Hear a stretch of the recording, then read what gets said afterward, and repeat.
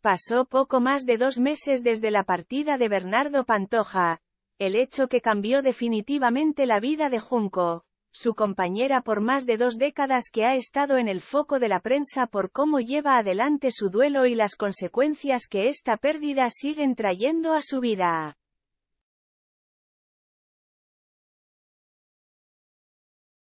Hace pocas horas, se desveló un nuevo giro que confirmaría el estado más vulnerable de la viuda de Bernardo Pantoja y que, curiosamente, está ligado a la coplera, personaje más visible de la familia que, desde el momento uno de las ceremonias del último adiós a su hermano, estuvo con la vista puesta en Junco por ciertos conflictos que no llegaron a resolverse.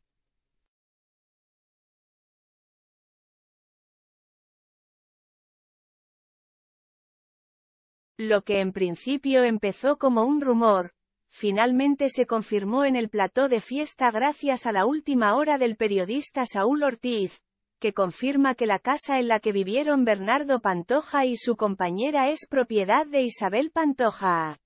De hecho, se hizo el traspaso legalmente a inicio de este mes, una situación que compromete directamente a Junco.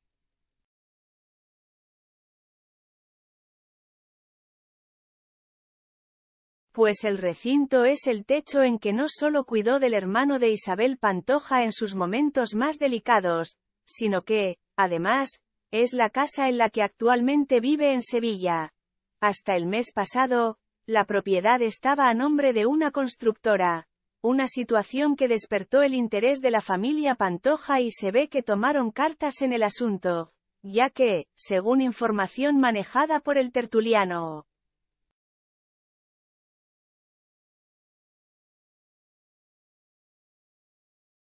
El 3 de febrero se firmó un nuevo documento de titularidad a nombre de Isabel Pantoja como única dueña del inmueble.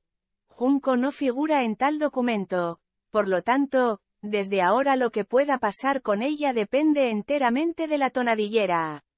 Es sabido por todos que la situación económica de la cantante no es la mejor. De hecho, por años ha intentado vender Cantora, pero debido a los conflictos con su hijo Kiko no lo ha logrado.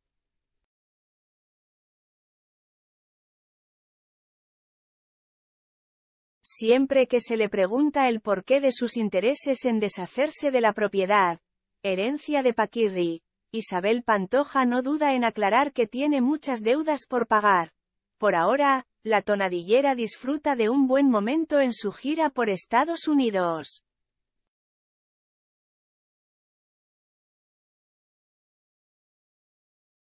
Se desconoce si está al tanto de este nuevo revés legal que la beneficia totalmente y que podría ser un regalo para su economía. Aunque signifique el fin de la comodidad para Junco, después de haber disfrutado por largas temporadas bajo ese techo en sus mejores años con Bernardo Pantoja.